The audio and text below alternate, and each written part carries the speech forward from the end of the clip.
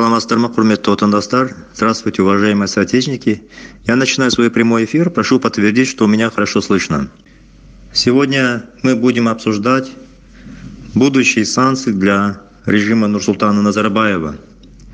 Я расскажу подробно каким образом формируется атмосфера и ситуация когда санкции начинают применяться против той или иной страны. И если совсем недавно еще это казалось больше теорией, сейчас это уже становится реальностью.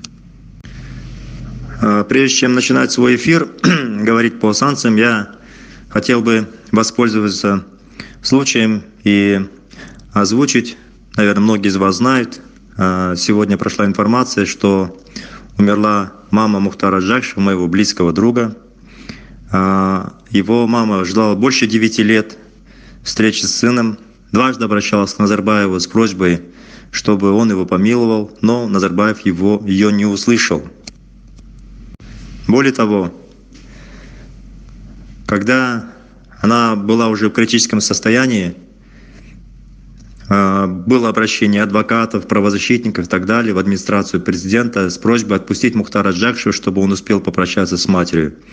И опять этот режим ничего не сделал, не среагировал, хотя это, соответственно, по закону они обязаны были его отпустить на встречу с матерью.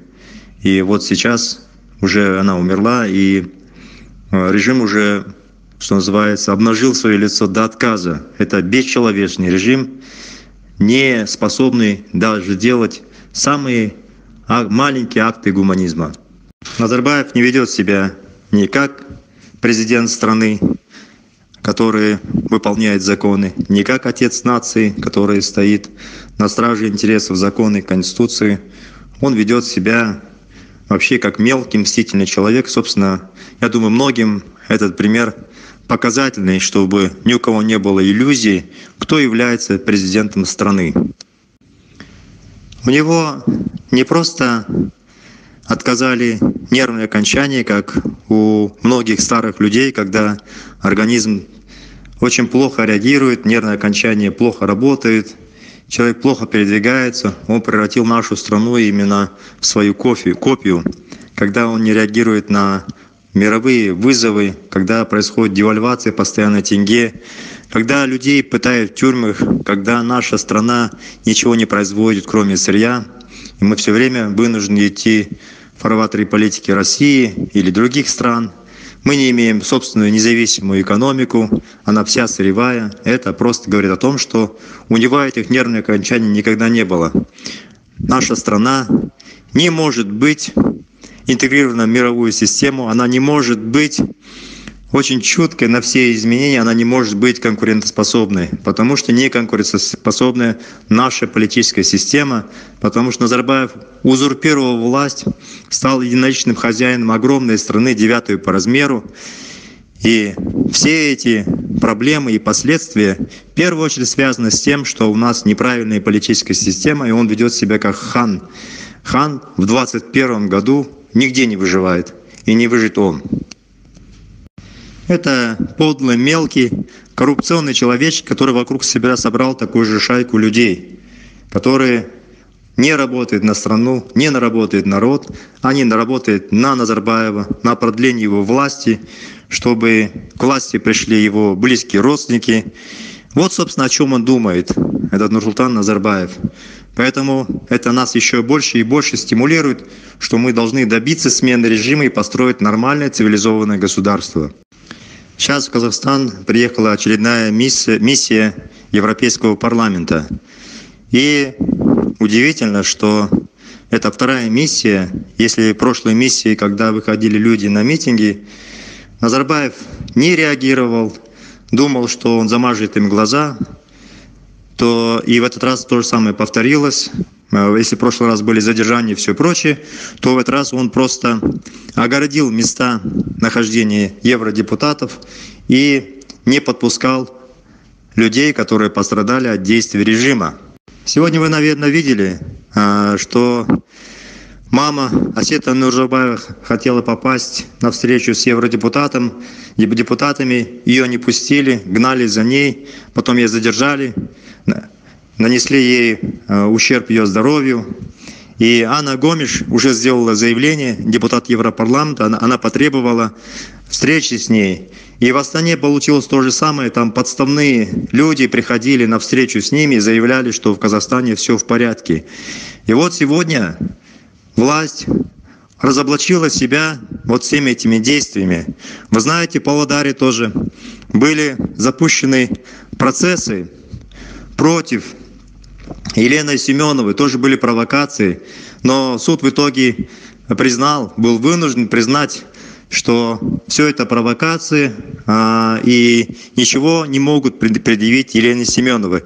За два дня ее буквально таскали Павлодарский суд, пытаясь на нее навесить разные преступления. Это все делали работники наших спецслужб. Теперь посмотрите, что происходит в Актау. Идет процесс над Аблавасом Джумаем, которому просто подкинули листовки. Он не призывал к насилию. Листовки были наши стандартные, это экономическая программа демократического выбора Казахстана. Спецслужбы там дописали сами призывы э, к силовым действиям. И вот сейчас его пытаются судить, и видно, что судья явно ведет дело с обвинительным уклоном. Это все происходит на глазах у мирового сообщества. Посмотрите ситуацию с Мухтаром Джакшевым. У него умирает мама, его не отпускают, у него плохое здоровье, он находится уже девять с половиной лет в тюрьме. Это все происходит на глазах мирового сообщества. Все задержания, задержания с синими шарами, задержания в синей одежде и так далее. Теперь уже добрались до белых футболок. Если раньше не было социальных сетей, не было телефонов, если раньше европейское сообщество обходило своим вниманием Казахстан, то буквально с этого года ситуация кардинально изменилась. Особенно эта сильная ситуация изменилась после того, как на Россию обрушился шквал различных санкций. Обрушился шквал санкций в 2014 году, в 2015, но на Путина это никак не действовало, он продолжал свою агрессивную политику.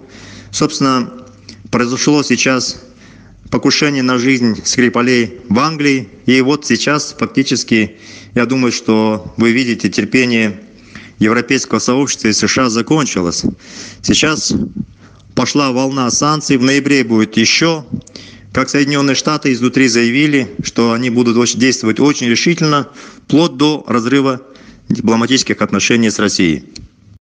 Совсем недавно был принят в США закон Магнитского, который предполагал наказание тех или иных чиновников, а, которые нарушают права человека. И вы знаете, огромное количество российских чиновников попали под эти санкции. Теперь этот закон начинает методично приниматься во многих европейских государствах. Он сейчас принят в Англии, принят в Литве, Сейчас еще ряд европейских стран планирует до конца года принять этот закон. И теперь этот закон уже будет действовать не просто против чиновников России. Эти законы будут действовать против любых чиновников любой страны мира, которые нарушают права человека. Самое удивительное, что эти санкции сильно действуют на экономику в России. Соответственно, э, эти санкции начинают действовать и на экономику Казахстана. То есть, когда рубль начинает обваливаться из-за действия санкций, следом идет падение тенге. Вы все понимаете, это прямо напрямую наша экономика связана с Россией, потому что у нас похожая сырьевая экономика, и многие товары мы не производим, какая-то часть серьезная, мы поставляем его из России. Когда происходит удешевление российского рубля, Наша экономика вынуждена тоже девальвировать экономику, потому что э, э, э, девальвировать тенге, потому что идут товары из России по цене более дешевые, чем казахстанские, и наши предприятия начинают прекращать свою деятельность.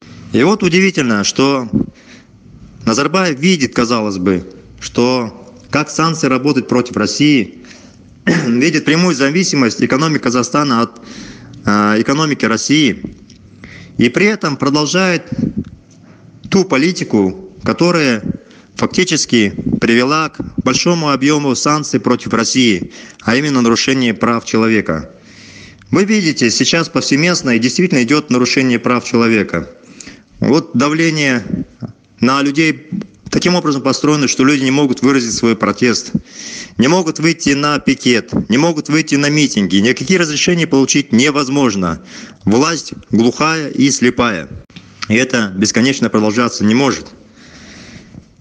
Ясно, что сейчас объем нарушений со стороны Казахстана будет уже настолько большой, если до последнего момента Казахстан как-то манипулировал мнением депутатов, рассказывал о своих успехах, вы видите, что именно этот визит уже обнажил ложь режима Нусултана Назарбаева.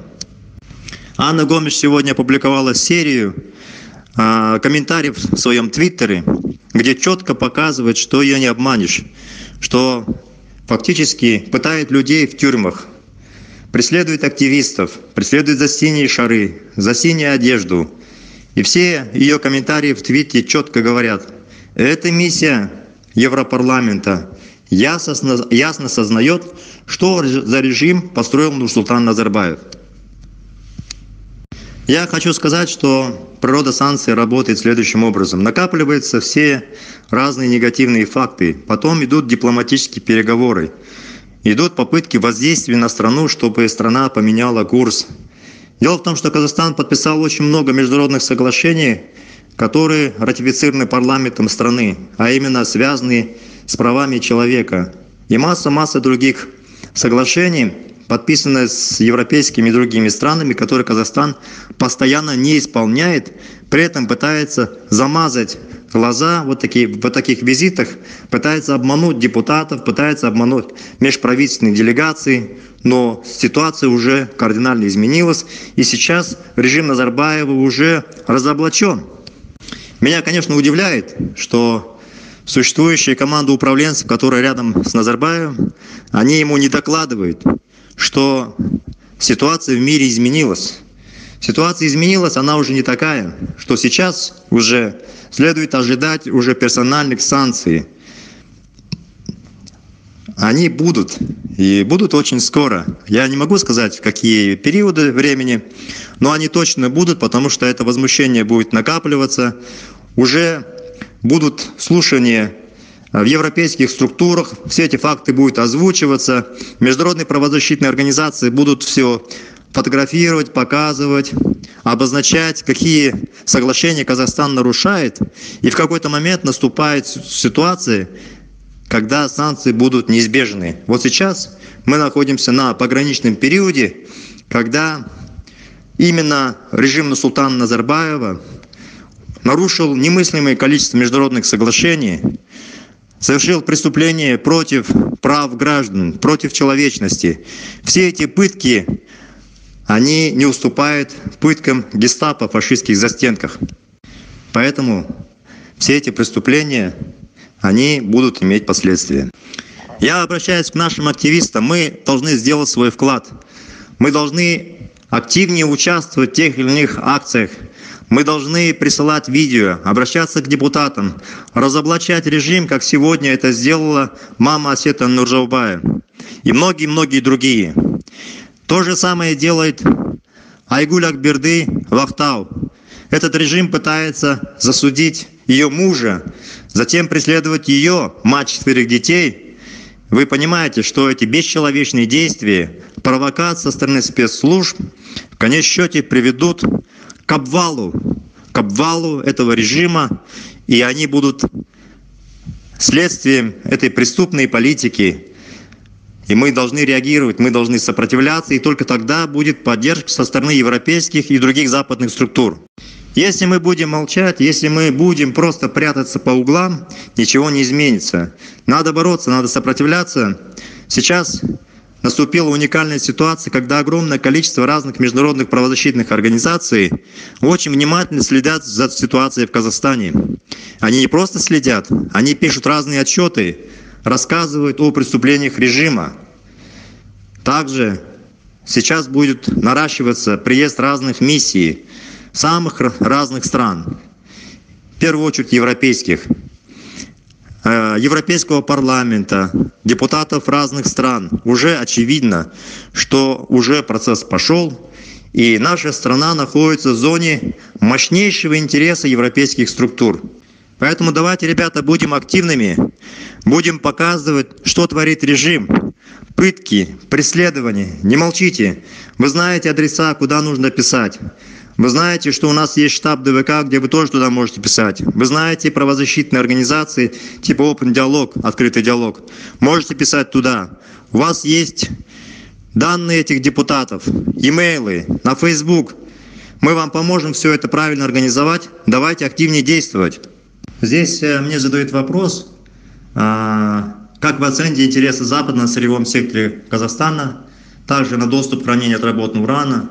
После таких уступок Запад может реагировать на нарушение прав человека. Я вам следующее скажу.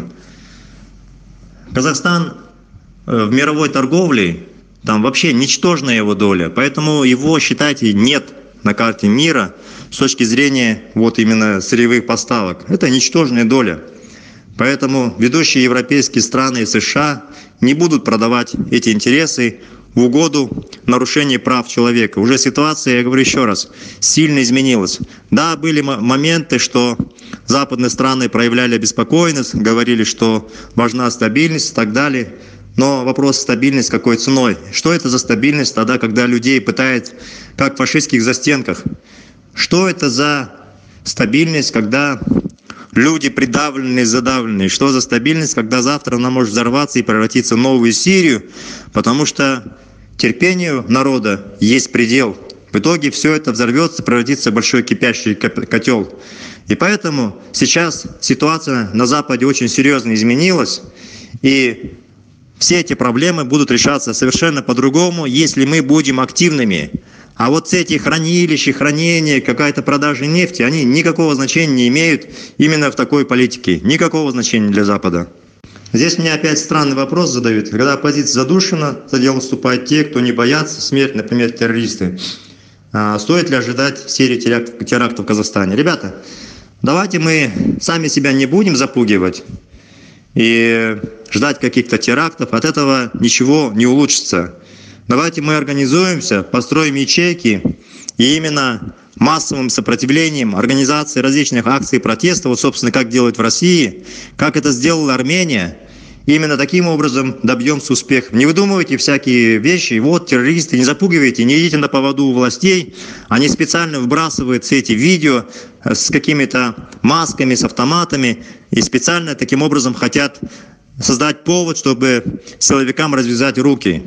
Не играйте в их игры.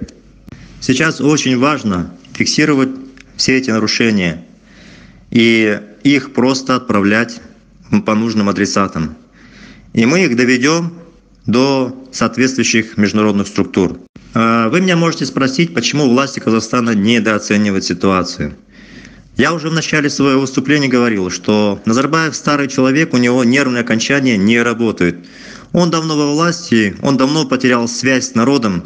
И вот и таким образом, именно поэтому это приводит к тому, что он не видит реальную картину. Он не видит реальную картину в мире. Вы же помните, как он выходил с идеей, а давайте откажемся от доллара, давайте сделаем Акметалл.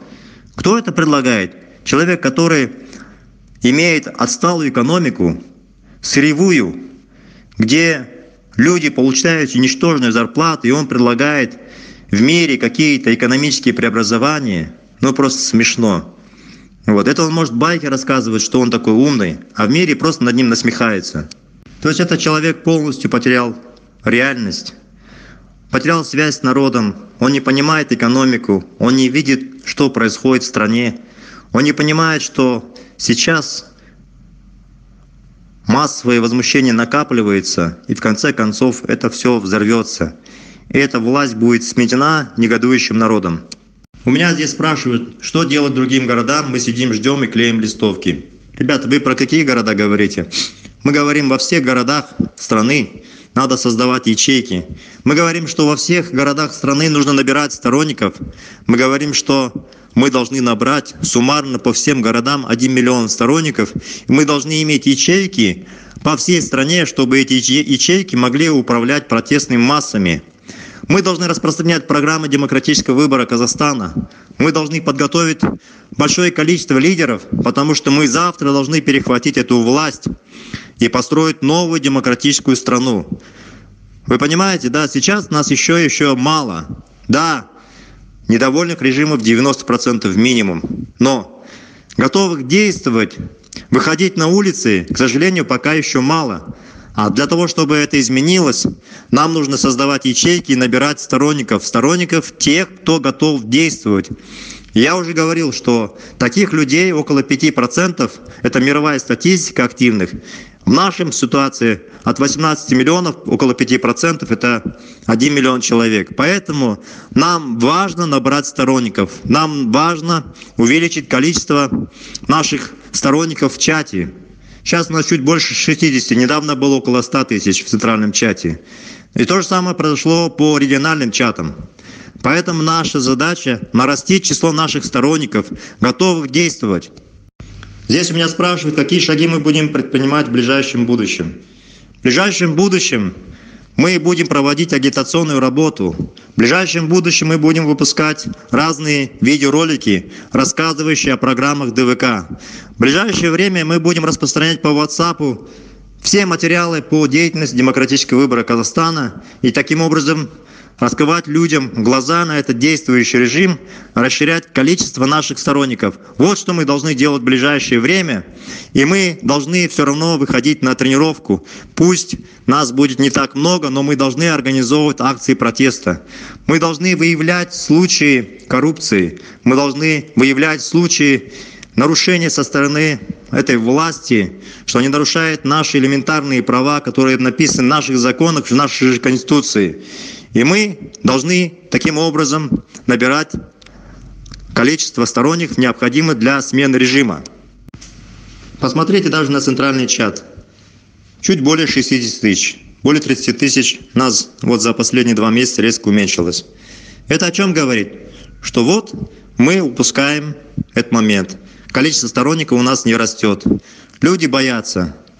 Мы разработали технологии, которые позволяют работать скрытно, через некие неопознаваемые.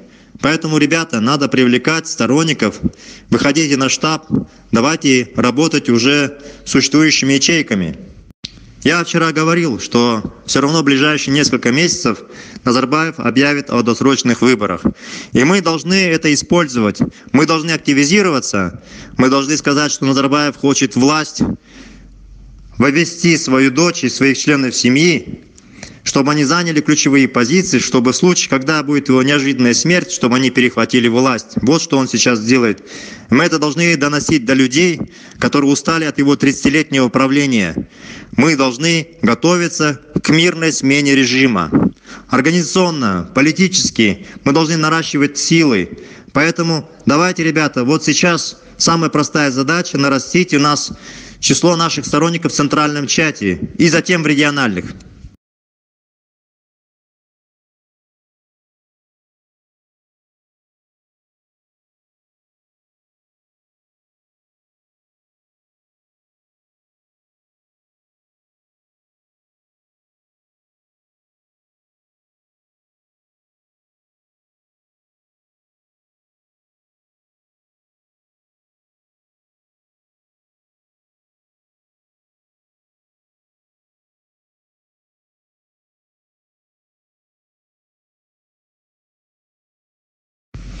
Здесь ведь нет никакого риска. Мы сейчас, вот завтра немедленно не выходим на акции протеста. Это скрытая работа, набирать сторонников ДВК в чат. если мы с этой работой не можем справиться, то грош нам цена. Сейчас вот здесь мне пишут, что надо делать рассылку по WhatsApp. Да, у нас есть группа людей, которые занимаются методично рассылкой разных сообщений по WhatsApp. Сейчас где-то в день уходит около 20 тысяч сообщений. Считайте, что в стране каждый день вот 20 тысяч листовок распространяется по номерам. Э, да, это мало, но за месяц это фактически минимум полмиллиона человек набирается. Мы эту работу усилим. И вам тоже просьба подключиться к этой работе и помочь участвовать в рассылке материалов демократического выбора Казахстана. Еще раз, ребята, я хотел бы отметить, Сейчас огромный интерес западных СМИ, западного сообщества к нашей стране. И в первую очередь это виной а, является сама Россия. А, Казахстан является членом Евразийского союза, поэтому, собственно, в орбиту интереса международных структур Запада теперь является и Казахстан. И это хорошо. Именно поэтому сейчас идут миссии за миссиями в Казахстан, это уже не остановить. И в какой-то момент режим получит по заслугам, получит массу персональных санкций всех тех, кто участвовал в подавлении прав и, граждан, и прав и свобод граждан Казахстана. Режим просто так же спит, ведет себя так же, как и предыдущие годы, когда они замазывали глаза Западу, теперь уже не получится. Этот визит четко показал. Реакция Ани Гомыш уже в Твиттере есть. Сейчас вы увидите, сейчас будет только нарастать визиты, и в какой-то момент они скажут, что вы не выполняете международные соглашения. И перед Назарбаем будет стоять выбор. Он продолжает свою политику и получит персональные санкции, сам его ближайшее окружение – а вы знаете, его капиталы спрятаны за рубежом, и все эти капиталы попадут под удар. Здесь у меня спрашивают, как скоро мы можем ждать от Европарламента по поводу санкций. Этого никто не знает, даже сами депутаты. Я просто вам говорю, это не так, что позвонил депутату по телефону, на следующий день все поехало. Нет. Это очень сложный бюрократический механизм. Это накапливается, вся эта информация идет разно среди депутатов, проводятся слушания, анализируются отчеты международных правозащитных организаций, затем идут требования Казахстану, чтобы она исполнила, страна исполнила международные соглашения, и шаг за шагом если страна не выполняет, уже после этого начинается первая санкция, вторая санкция и так далее. Это не происходит немедленно, это целый процесс. Но ускорить мы его можем, ускорить мы можем своими действиями. Вот сегодня пошла мама Осета Нуржаубая туда, она свой вклад сделала. Вот Елена Семенова активно выступила, они ее давили, она свой вклад сделала. И все те, кто активные, кто обнажает суть этого режима, именно они делают свой вклад в том, чтобы этот режим санкций был внедрен как можно быстрее. Пассивностью, прятанию по углам Сидение тихо не изменит ситуацию. Только сопротивление, только сопротивление этому режиму, массовое сопротивление ускорит принятие санкций против Назарбаева и его ближайшего окружения. Так что, ребята, давайте действовать активнее, набираем сторонников, действуем, распространяем информацию о демократическом выборе Казахстана, распространяем информацию о преступлениях режима, чтобы люди осознали, что так дальше жить нельзя. И когда скоро объявит Назарбаев о своих досрочных выборах, мы должны тоже свое слово сказать и добиться использовать то, что на этих выборах будут очередные фальсификации, и массовым выступлением добиться смены режима, как, собственно, это произошло в Украине в 2004 году, как недавно произошло в Армении, и мы тоже можем это сделать.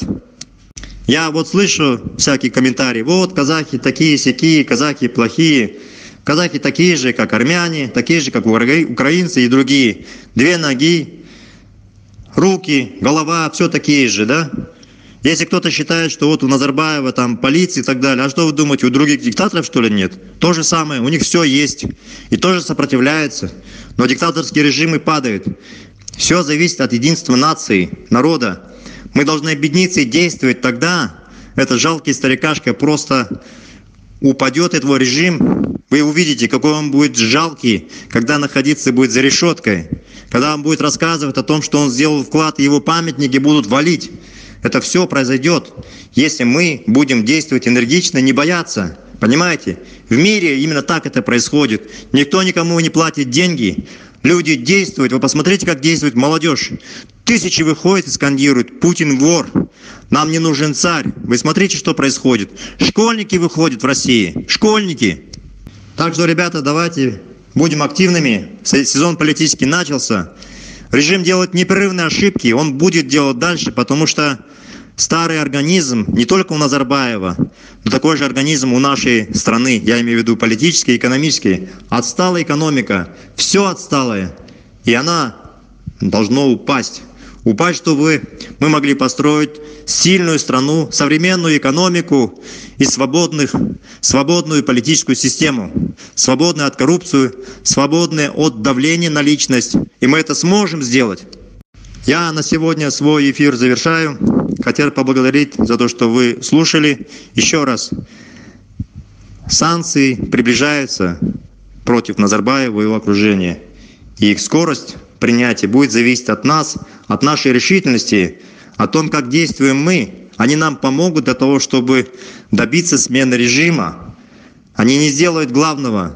Они не сделают того, чтобы десятки тысяч и сотни вышли на улицы. Но они нам помогут. Они нам помогут обесточить режим, арестовать их деньги, превратить их в жалкие существа, потому что они умеют только воровать. Ничего строить не умеют. Когда их ресурсы будут арестованы, это будут жалкие существа, которые ничего не смогут сделать. Так что давайте, ребята, действовать. Слава Богу, до встречи в следующий раз в эфире.